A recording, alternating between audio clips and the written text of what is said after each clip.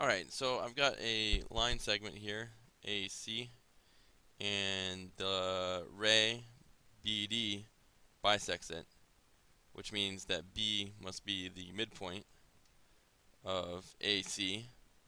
And uh, so we know the coordinates of A, and we know the coordinates of the midpoint between A and C, but we don't know the coordinates of C, but we can figure them out. So let's check that out.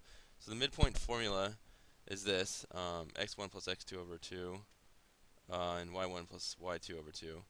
Really all that's happening here is the, the midpoint coordinates are the average of of the two coordinates um, it's between. So, um, so x1 plus x2 over 2, we're taking two numbers and dividing by 2. So we're finding the average of the x coordinates and the average of the y coordinates. So we can just take this information and um, you know we know the we know the average, but we don't know a couple of the individual numbers. So let's let's check it out. Um, so let's let's work on the x coordinate first. Um, so it'll go like this. So let's call this let's call this one, and we'll call the missing point two. So um, the formula here is x1 plus x2 over 2 equals the um, x coordinate of the midpoint. I'm gonna I'm just gonna write it like that. The x coordinate of the midpoint. So we know the x coordinate, uh, the first x coordinate is three. So we can just write this as three plus, and we don't know. Uh, let's call that x over two. We don't know this one equals the x coordinate of the midpoint equals 12. At this point, oops.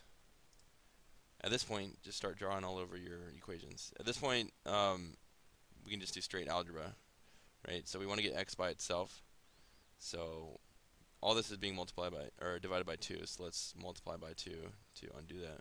Oops. Lost my color. Both sides by 2.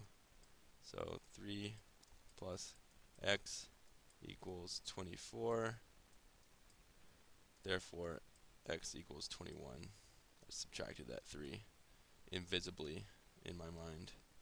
x equals 21. So, um, so let's start writing up the coordinates for uh, C over here. So 21 is the x coordinate. Now let's find the y y coordinate. So same same idea. We'll switch colors.